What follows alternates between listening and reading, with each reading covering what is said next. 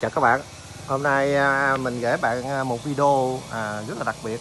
Vì đây là một video mà cho các bạn có hệ thống tưới như vậy để tưới được tự động nha. Tưới được à, giống như là mình tưới như mưa ở cái vườn lan mình vậy đó các bạn.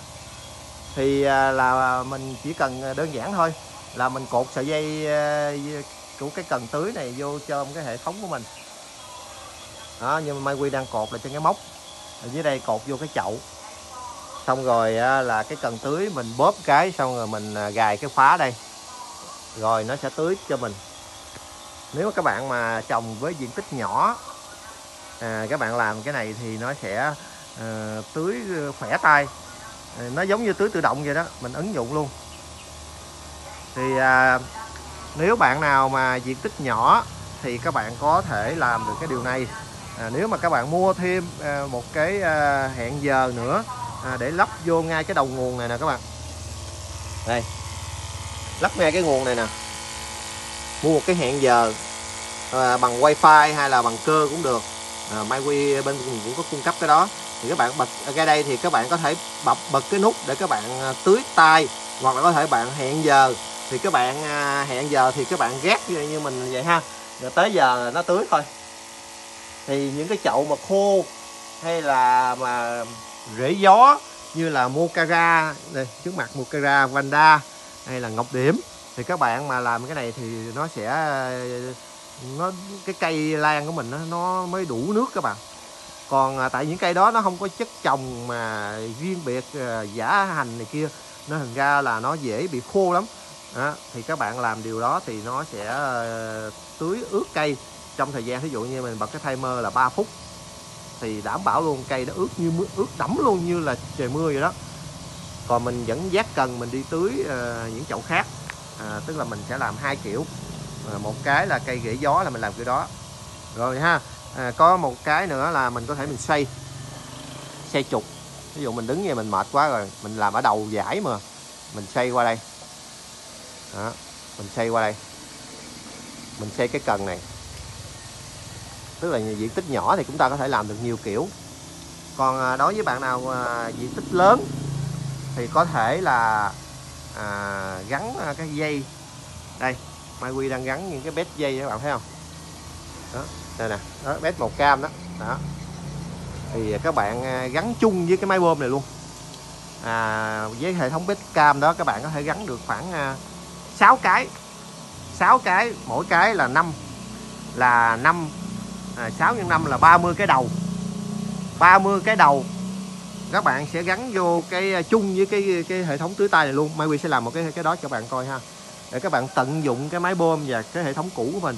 Và chỉ cần gắn sợi dây đó thôi thì nó sẽ tưới mịt mù. Và nó tưới chung như kiểu này nè các bạn. Giống như vậy nè các bạn coi này nha. Đây. Đây mình đang mở cái hệ thống tưới chung luôn nè.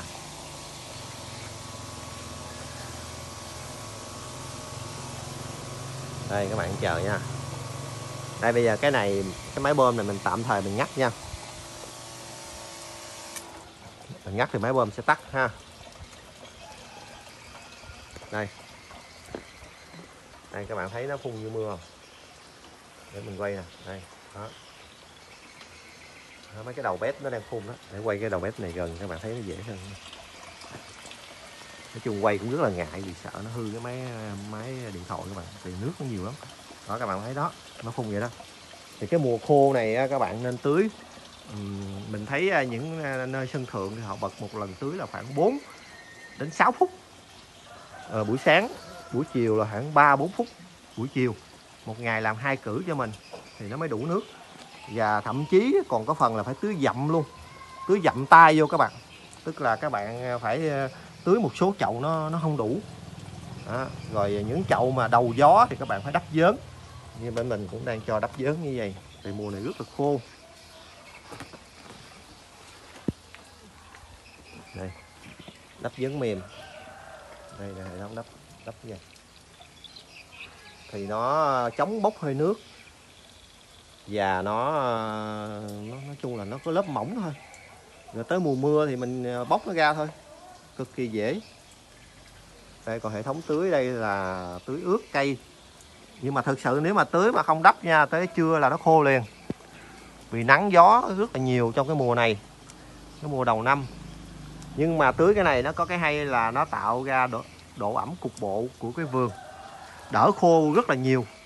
À, còn bữa giờ tưới tay thực sự là không đủ mà cái vườn này là độ ẩm ở dưới đất là nhiều lắm nha các bạn. Coi này độ ẩm dưới đất là mình đã có trồng cái cây những cây trầu bà dưới chân rồi đó. Mà thấy còn không không có xi nhê luôn á. Khô béo luôn các bạn. Còn nói gì sân thượng với ban công. Nó thành ra là chúng ta uh, tưới nước trong cái mùa khô này là rất là quan trọng ha. Quyết định luôn. Còn tất nhiên là chúng ta vẫn phải cân bằng cân bằng ờ, độ ẩm uh, chậu này kia mùa này các bạn chú ý nha nếu trồng khô là các bạn thấy cây nó không lên luôn á nó cứ đứng như luôn á.